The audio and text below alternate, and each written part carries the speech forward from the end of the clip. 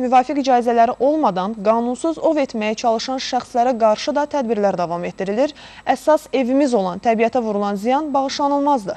Odur ki, su nəqliyyatında polis idarəsinin əməkdaşları bir neçə uğurlu əməliyyat keçiriblər, izləyək.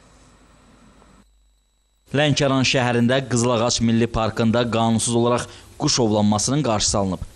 Həmin şəxslərə məxsus motosikletlərə baxış zamanı müxtəlif ov alətləri və digər ləvazimatlar aşkar olunaraq maddi sübut kimi götürülüb.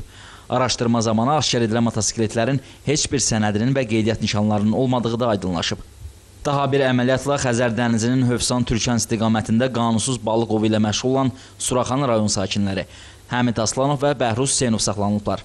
Baxış zamanı həmin şəxslərdən qayıq, tor, balıq ovlama alətləri və qanunsuz olaraq tutduqları müxtəlif növ balıq aşkar olunaraq götürülüb. Dənizə nə ilə girmişdiniz? Qayıq, qayıqla.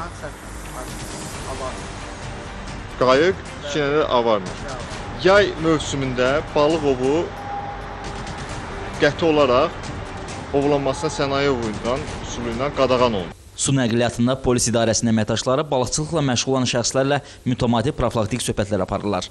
Müvafiq qərara əsasən sentyabrın 1-nə qədər balıq ovlanması qadağandır.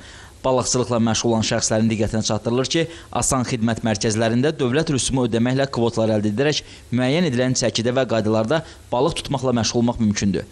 Balıqçılar hansı növə aid balıqların tutulmasına icazə verildiyi barədə məlumatları isə su nəqliyyatında polis idarəsinə müraciət etməklə əldə edə bilərlər.